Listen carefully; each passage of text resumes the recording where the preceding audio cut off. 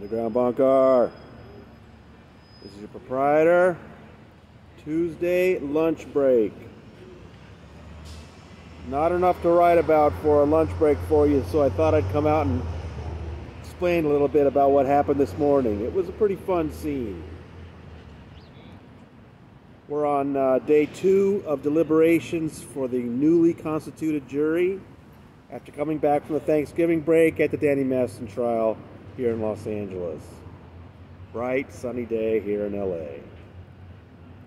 And uh, you know, if you were saw our reports yesterday, we had a couple of jurors test positive for COVID on Sunday. They were replaced by alternates. And the defense objected, as it always does, to anything the judge wants to do with the jury. But what surprised us yesterday was that he wasn't objecting so much to that immediate issue of the ill jurors. He was object he was still objecting to how she handled the Thanksgiving break. And if you remember from what I said yesterday, he basically accused her of lying. Saying that, you know, we over the break we checked the records and we didn't see any jurors saying that they had to go somewhere on Thanksgiving week. I mean, he was essentially accusing her of making up an excuse to not come back last week uh, with the jury. So today, after getting people in place, she wanted to address those concerns, and that's what was happening this morning.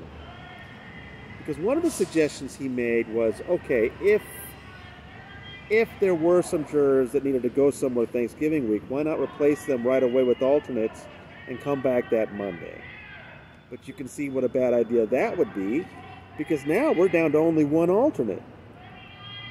But anyway, the first thing she wanted to address was this idea that these jurors did not have Thanksgiving plans and that there was some sort of, uh, you know, lying going on. You, you could tell she was not happy.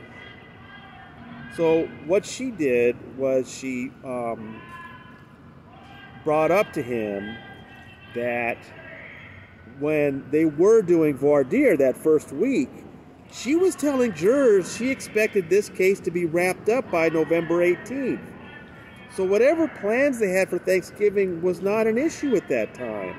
So there's no reason for them to bring up their Thanksgiving plans during voir dire if they didn't think the case was going to go that long.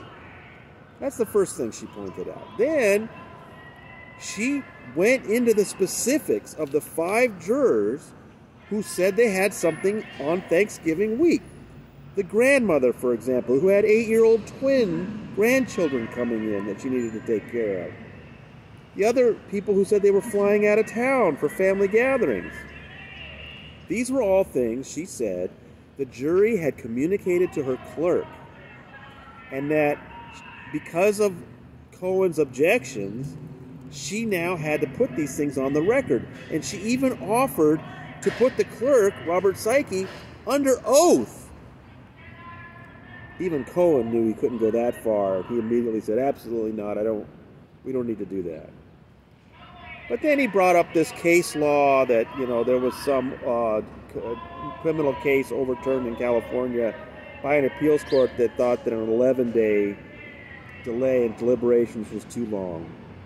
But she then pointed out it was only three days, or, or yeah, three days that they missed Monday, Tuesday, and Wednesday of last week. Because either way, they would have had Thanksgiving and Friday off. Those were court holidays. So even though we were not in court for 10 days, only three of those were days that we took off because, again, the jurors had plans, not the court. And she also made that clear that even though we weren't in court last week, she was there.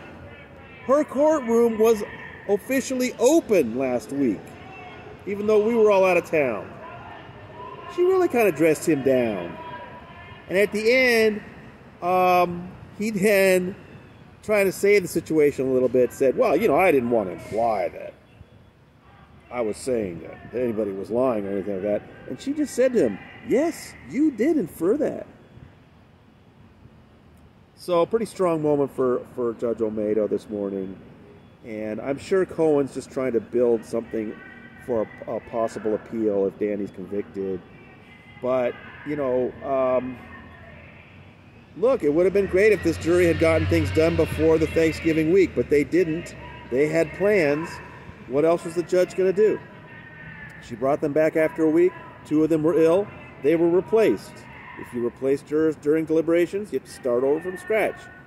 She's done all those things. And now, yesterday, it seemed like this new jury had a little more urgency. Today, they're back to taking some early breaks. So I don't know what that means. I don't know what that says. Again, we're always completely in the dark. We're just sitting there waiting. Today, the journalists are out in the hallway watching World Cup matches. So, uh, and then there was that one very funny moment this morning, just before anything started. She was Judge Olmedo was handling a couple other issues uh, with a couple other cases, and there was some an attorney in there who said to her. Uh, Judge, did you see that uh, sketch of you that was on TV last night? I guess he must have been referring to something that Mona did. Mona's the sketch artist for ABC 7. And I didn't see it, but he said that it took 20 years off of you. But you had black lips like you were goth or something. And she just turned up a smile and said, How'd they know what I looked like in college? that Judge Olmedo, man, she's something. Wonderful moment to start the day. So, yeah, after that big showdown with Cohen, we're back to just sitting around. Maybe this afternoon we'll have something for you. Don't know, but uh, we'll be in there and we'll let you know anything that happens. From the Clara Shortridge Foltz Criminal Justice Center, this is your proprietor signing off.